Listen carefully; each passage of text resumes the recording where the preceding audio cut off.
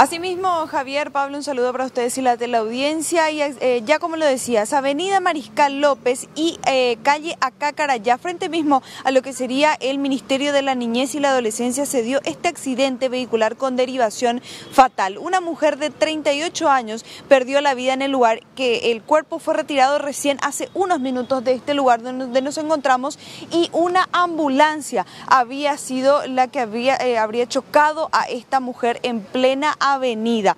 ¿Qué pasó particularmente, Javier, en este lugar? La mujer, eh, ya identificada como María Angélica Parra, lo que intentó hacer es cruzar específicamente de la esquina a Cacarayá. Nosotros estamos en el carril de ingreso a la ciudad de Asunción. Ella estaba del otro lado de la calle. ¿Qué ella hizo? Cruzó, por supuesto, mirando el carril de salida de Asunción. Eh, esperamos un momentito, Jaime, por favor.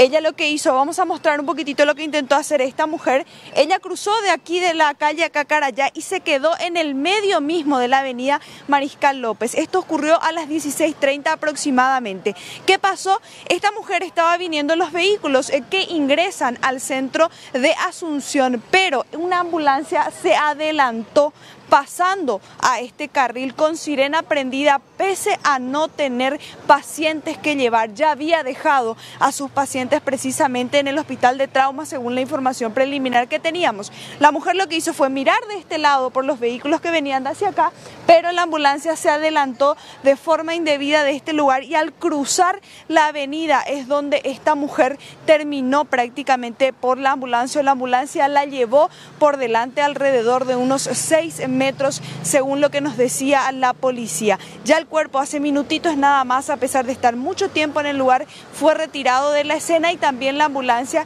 que ya fue derivada a la comisaría sexta. Ahora justamente nos piden que nos apartemos porque ya van a habilitar nuevamente el tránsito aquí sobre la avenida Mariscal López, que desde esa hora, desde las 16.30, estaba parado prácticamente. Eh, la, la mujer de blanco que estamos viendo, una de las licenciadas que estaba eh, en la ambulancia que eh, conducía una persona de sexo masculino que fue derivado a investigación de delitos para hacer posteriormente la prueba de alcotés. Ella era la acompañante y está eh, dando toda la información necesaria, pero lastimosamente con la prensa ya casi no quiso hablar. Bueno, ya se están retirando los uniformados de la policía que estaban dando todos los detalles al respecto. Vamos a intentar una vez más conversar con ella. Bueno, licenciada, disculpe, estamos en vivo para ABC. ¿Aportó toda la información que podía ayudar en esto, lo que había ocurrido? Disculpame, pero no me siento lo bien. No, pero queremos conversar nomás un poquito. Sabemos que fue un accidente, licenciada. Usted no tiene la culpa, usted no estaba conduciendo. Ahora mismo no. ¿Usted es acompañante? No, no, no, no.